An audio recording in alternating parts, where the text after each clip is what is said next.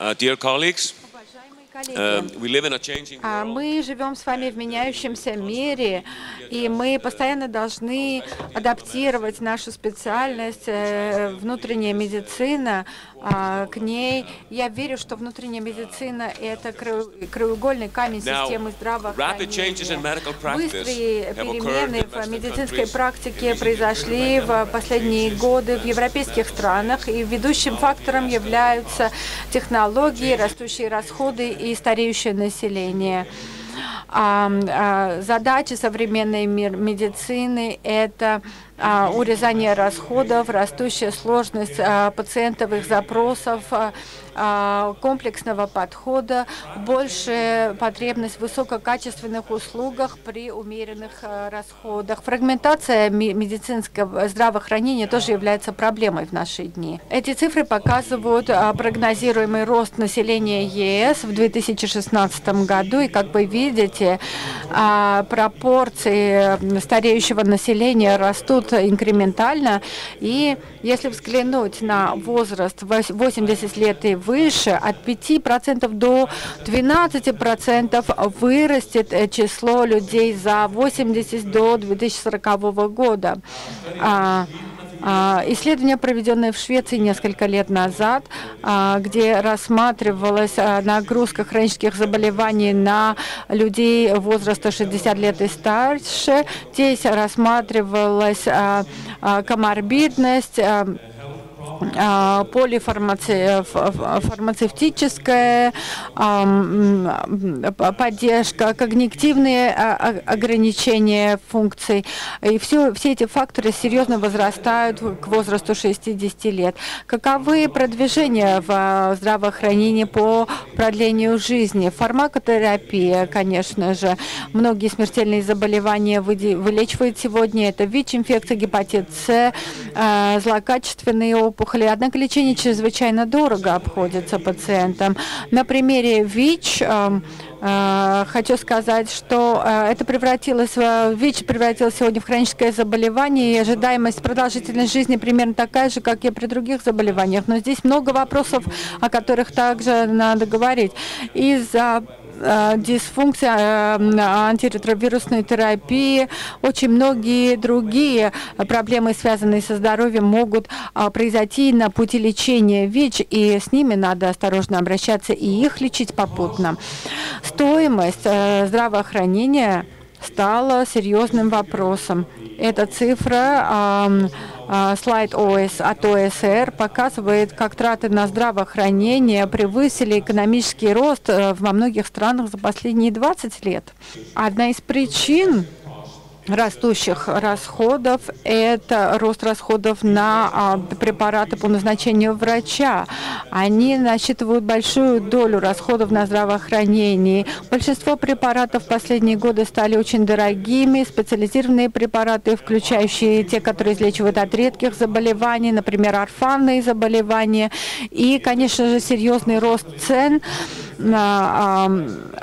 Вы знаете, что а, фармацевтическая индустрия – это главная линия обороны, которая держит цены на препараты и связана с этим, э, с, это с разработкой новых препаратов. На этом слайде вы можете видеть э, примеры. Наибольшие дорогие, наиболее дорогие препараты здесь. э, которые в прошлом году наблюдались. Эта информация была взята из интернета, в основном из США, потому что ин- информация более там доступна по ценам на лекарства. Вот 10 наиболее самых дорогих препаратов.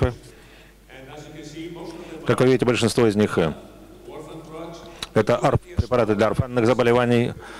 Ну, посмотрите, сколько цена в год обходит. Наиболее дорогие препараты э, д- д- дв- 20, э, 93 тысячи долларов, э, если на год покупать курс лечения. Другие дорогие препараты, включая те для гепатита С. Теперь мы можем излечивать гепатит С, но все упирается в затраты. От 50 до 70 тысяч долларов в год курс лечения. Другие препараты, например, онкологического назначения, очень дорогие. Если посмотреть э, на стоимость ре- ресурсов и сколько э, требуется их э, для того, чтобы создать новый препарат. Вот, например, из Джама поступили данные в прошлом году. Если посмотреть для э, онкологических, э, онкологические препараты и оценить э, стоимость ресурсов на их изготовление создание, то э, видите вот темные колонки, э, градусники, как говорят, и, собственно, это сколько нужно их потреблять в течение года и какая выручка оказывается. Что касается некоторых препаратов, то выручка во много раз э, э, э, э, превышает э, стоимость разработки этих препаратов, затраты на них. Этот вопрос также нужно решать. Э, э, Дело в том, что в будущем существующая стоимость препаратов, э, она, естественно, будет повышаться и в будущем. Как решать эту проблему? Э, Роль э, медицины внутренних органов имеет большое значение. ПМСП. В настоящее время несколько вопросов нужно решить э, неотложно. Например, организация оказания медицинских услуг. Э, э, Нужно учитывать потребность населения. Другой важный вопрос. Нужно баланс соблюдать между генерализованными и специализированными услугами в ПМСП чтобы они наилучшим образом э, обеспечивали э, координацию и самые различные группы населения и пациентов. Э, э, Что касается, э, поэтому, что касается наиболее дорогих услуг, э, нужно учитывать соотношение затрат и выгоды при обеспечении при этом безопасности медицинских услуг. Что касается организации оказания медицинской помощи, э, большинство стран э, в Европе испытывают проблемы, э, решая этот вопрос. Вот, например, пример э, из э, Великобритании. Э, Королевский колледж э, э, заболеваний ПМСП, он говорит, что они оказываются в очень сложном положении. У них есть свой, конечно, госпиталь, и очень много приходится госпитализировать пациентов. И рабочая группа, которая работает по этому вопросу, они целый ряд решений предложили. Одно из них интеграция э, э, стационарных услуг и э, услуг со- социально-медицинского характера. Э, Дело в том, что очень много оказывается пациентов, поэтому такая интеграция двух систем совершенно необходима. Также в том числе, чтобы гораздо лучше э, обеспечить соотношение э, между э, общемедицинскими услугами э, и э, специализированными. Это под эгидой э, to э, руководства э, отрасли делается. Кроме того, что касается отделения интенсивной терапии э, и неотложной помощи пациентов, э, пациентов можно госпитализировать в э, э, отделении реанимации напрямую, напрямую, минуя э, звено ПМСП. Здесь видите, как это организовано. Вот также дневной стационар есть. И очень тесное взаимодействие э, с medical группой э, реанимации и других э, э, услуг неотложной помощи. Нам нужно также помнить, что затраты на медицинскую помощь имеют большое значение, и нам нужно э, очень выгодно э, вкладывать э, средства.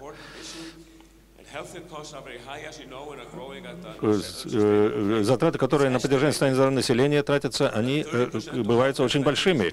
Э, В Соединенных Штатах э, значительный, значительный процесс, э, значительная доля э, э, медицинского бюджета оказывается тратится впустую. Э, Вряд ли э, это иначе в Европе или в других регионах мира. Усилия, когда предпринимаются для того, чтобы контролировать э, объемы затрат с учетом медицинских услуг, это критически важный вопрос. В Соединенных Штатах оценивается, что врачи отвечают более чем 80% нецелесообразных расходов. Лабораторные обследования и так далее, диагностика, и когда без причины оказываются услуги, нецелесообразное использование препаратов, антибиотиков, because uh, antimicrobial resistance э, в том числе особенно приходится много тратить при э, э, э, лекарственной устойчивости. Конечно, э, Соединенные Штаты признают, что такая проблема существует. Э, При существующей системе оказания медицинской помощи э, очень много препятствий к тому, чтобы стимулировать э, оказание таких медицинских услуг. Э, Врачи, мы являемся, собственно, одним из рычагов решения этой проблемы. Нам э, не нужно оказывать наиболее дорогие услуги в первую очередь. Э, Нужно учитывать потенциальные выгоды и вред наносимые, затраты.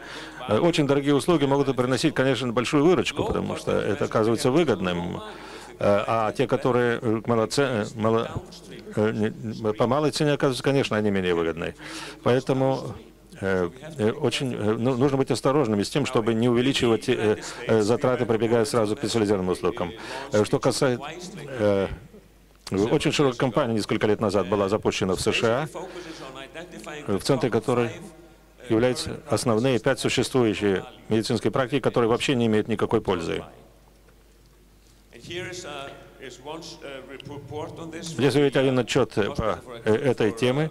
Это общество, общество стационарной медицины, что, о том, что катетер катетер э, в, в, в, в мочеводящие пути, э, конечно, когда он используется, э, это также несет за собой большие затраты. Но у пациента возникает при этом инфекция мочеводящих путей. Это также в конечном счете может оказываться довольно дорогим. Нужно организовывать мониторинг на дому и Э,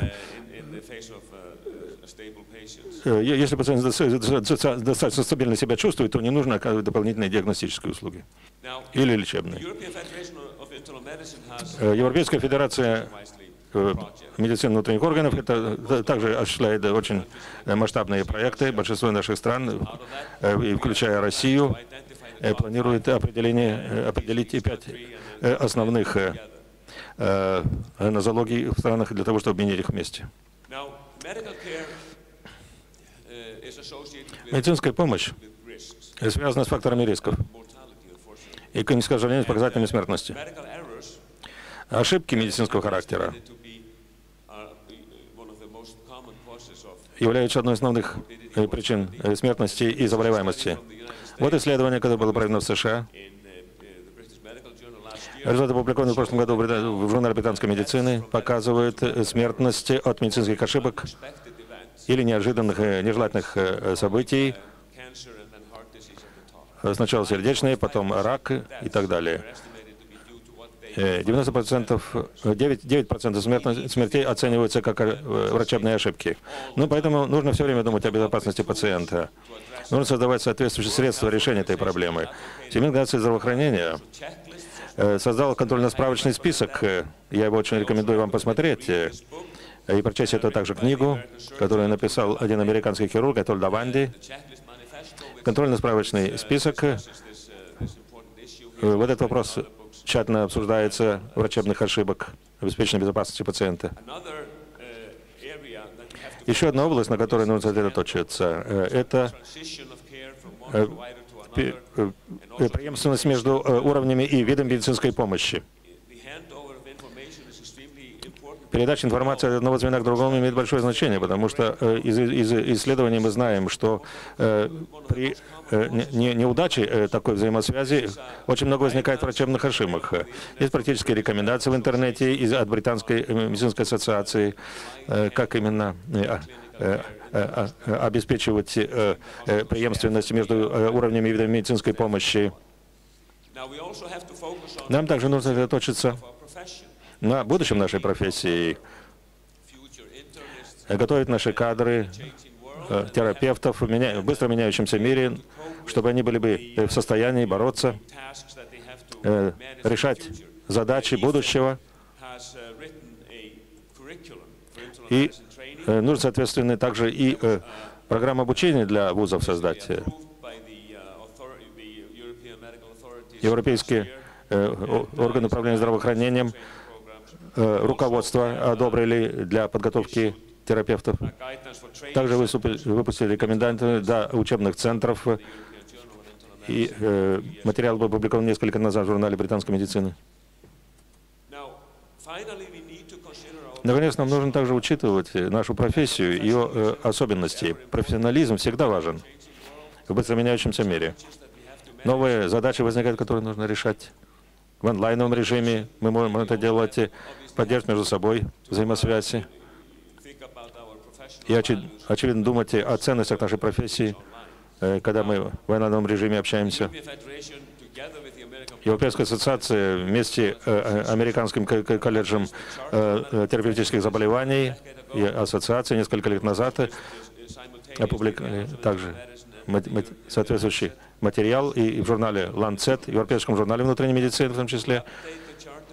И время от времени нам нужно э, э, обновлять соответствующую информацию, э, таблицы.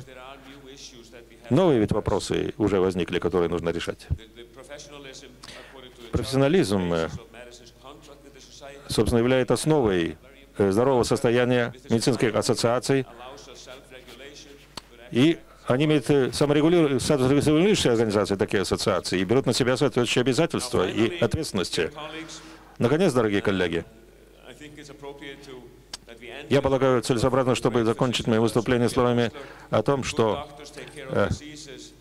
of те врачи, хорошие, которые в первую очередь заботятся о пациентах, э, а не о болезни как таковой.